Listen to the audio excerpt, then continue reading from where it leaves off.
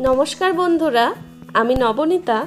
আজ আপনাদের সাথে শেয়ার করব শাকের ছ্যাঁচড়ার রেসিপি এটা মেদিনীপুরের একটা ট্র্যাডিশনাল রান্না। রেসিপিটা আমার দিদার। আর আজকে আমি আমার দিদাকে নিয়ে চলে এসেছি আপনাদের সামনে একদম অথেন্টিক রান্নাটা তুলে ধরার জন্য। আশা করি আপনাদের ভালো লাগবে। তাহলে চলুন রান্নাটা শুরু করা যাক।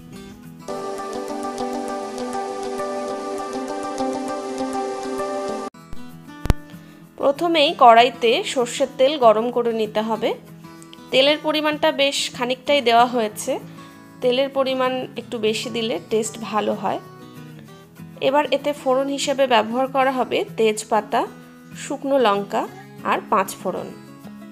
তবে আপনারা চাইলে তেলটা একটু কমও দিতে পারেন। তেজপাতাটা দেওয়া হয়ে গেছে। শুকনো লঙ্কা দিয়ে দেওয়া হলো। এবার এটাকে হালকা করে ভেজে নিতে হবে। হালকা একটু ভাজা হয়ে আসলে তারপর এতে পাঁচ ফোড়ন দিয়ে দেওয়া হয়েছে। এবার পাঁচ ফোড়নটা খুব ভালো করে লাল লাল করে ভেজে নিতে হবে।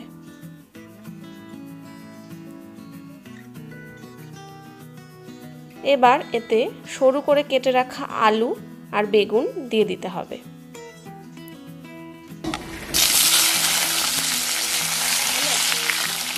এবার আলু বেগুনটা একটু ভেজে নিতে হবে।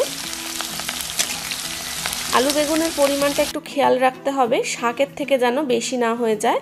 শাক দেওয়ার পর, রান্না হওয়ার পর বেশ খানিকটা নরম হয়ে যাবে এবং কমে যাবে।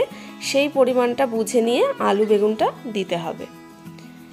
এখানে দেখুন শাকগুলোকে ধুয়ে ভালো করে বেছে আর কেটে রাখা হয়েছে। এখানে দু রকম শাক ব্যবহার করা হবে।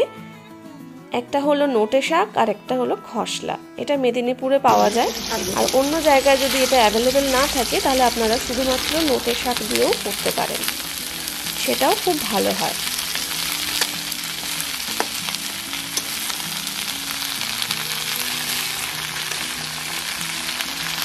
ভালো করে নেড়ে চেড়ে মেশাতে হবে।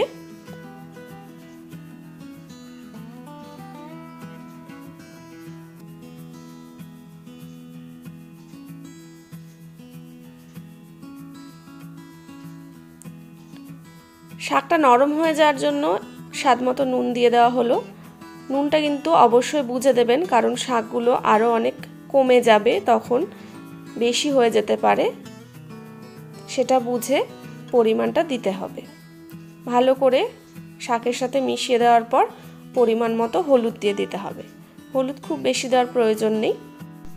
এবার এটাকে কম আঁচে কিছুক্ষণ রান্না করার পর দেখুন কতটা কমে এসেছে। এতে এবার দিয়ে দিতে হবে সর্ষে ও পোস্ত বাটা। এখানে এক চামচ পোস্ত আর দু চামচ সর্ষে একসাথে বেটে নেওয়া হয়েছে। এবার এটা দিয়ে দেওয়া হলো, দিয়ে ভালো করে শাকের সাথে মশলাটা মেশাতে হবে। আপনারা চাইলে একটু লঙ্কাও এর সাথে বেটে দিতে পারেন, তবে আমার দিদা কোনো এক্সট্রা লঙ্কা ব্যবহার করেননি, শুধুমাত্র গোটা শুকনো লঙ্কা ফোড়নে ব্যবহার করেছেন। ভালো করে মিশিয়ে নেওয়ার পর ওই সর্ষে পোস্ত বাটিটাতে একটু জল দিয়ে ওই জলটা দিয়ে দেওয়া হবে। দিয়ে ভালো করে আবার মেশাতে হবে। এখন শাকটা ঢেকে রান্না করার কোনো প্রয়োজন নেই। এবার এতে দিয়ে দিতে হবে মাছের তেল, ভেজে রাখা হয়েছে আগে থেকে সেটা। এটাই এই রান্নাটার স্পেশালিটি আর এটাই এই রান্নাটার স্বাদ বহুগুণ বাড়িয়ে দেয়। এটা কিন্তু স্কিপ করবেন না, তবে যদি নিরামিষ খান, তবে এটা বাদ দিতে পারেন। তবে এর স্বাদ কিন্তু লুকিয়ে আছে এই মাছের তেল ভাজাটার ওপরে। আর চাইলে মাছের কাঁটাও ভেজে এতে দিয়ে দেওয়া যায়। খুব ভালো করে মিশিয়ে নেওয়া হলো। আবার একটু জল দিয়ে দেওয়া হলো। জল দিয়ে ভালো করে নেড়ে চেড়ে মেশাতে হবে।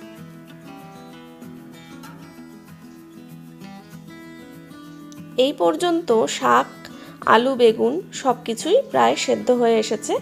এবার সমস্ত কিছু একসাথে মিশে যাওয়ার জন্য একটু ঢাকা দিয়ে রাখা হবে। পাঁচ মিনিট মতো ঢাকা দিয়ে কম আঁচে রান্না করার পর ঢাকাটা খুলে নিল দিদা। এবার এটাকে খুব ভালো করে নেড়ে চেড়ে শুকনো করে নিতে হবে, যেন এতে জল না থাকে আর তেলটা ভেসে ওঠে। দেখুন, হয়ে গেছে রান্নাটা। সাইডে তেলগুলো দেখা যাচ্ছে। এবার রান্নাটা একদম পরিবেশনের জন্য তৈরি হয়ে গেছে। এটা একদম গরম গরম সাদা ভাতের সাথে পরিবেশন করতে হবে। রেসিপিটা যদি ভালো লাগে তাহলে লাইক শেয়ার ও কমেন্ট করবেন। আর যারা এখনও সাবস্ক্রাইব করেননি তাদের অনুরোধ করব আমার চ্যানেলটা যদি আপনাদের ভালো লাগে তাহলে অবশ্যই সাবস্ক্রাইব করার জন্য। আর সাবস্ক্রাইব করার পর পাশে থাকা বেল আইকনটা অবশ্যই প্রেস করে দেবেন। পরবর্তী ভিডিও নোটিফিকেশন পাওয়ার জন্য। Thank you for watching